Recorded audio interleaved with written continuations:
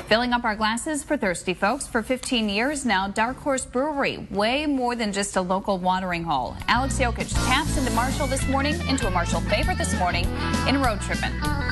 On your craft beer tour of Michigan, don't forget to hop into Dark Horse Brewing Company here in Marshall. What sets Dark Horse Brewing Company apart from the rest?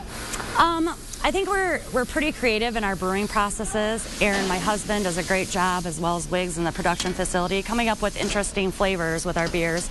And this year marks Dark Horse's 15th anniversary. Yes, we have been. We'll be open for 15 years on uh, end of September, I believe September 28th. So that's pretty exciting. And you guys have a new brew coming out, right? Yes, we do. On August 1st, we will be releasing uh, a new beer, and it will be available in bottles and on draft here in the tap room.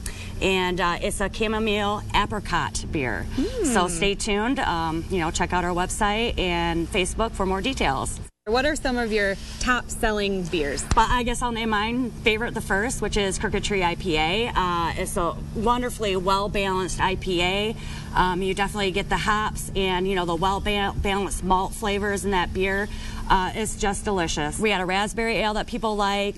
Another good seller is our Plead the Fifth uh, which is a Russian Imperial Stout, so people enjoy that in the wintertime. We have usually about uh, 10 to 15 beers on tap, so and also Wigs in our brewery uh, will kind of do some creativeness, so we'll usually have two beers that are uh, what we call um, one-offs. So you get a once in a lifetime chance to try Ooh. different beers that we come up with in the brewery. So tell us too about chicken wing thing. Our chicken wing thing is going to be Saturday, August 15th. It's a great day. Uh, we uh, bring in seven different bands um, and we offer chicken wings and 13 different sauces to choose from. Mm. So uh, it's all out in the beer garden, so you can enjoy uh, seven different bands on uh, two different stages and eat chicken wings and drink some good beer.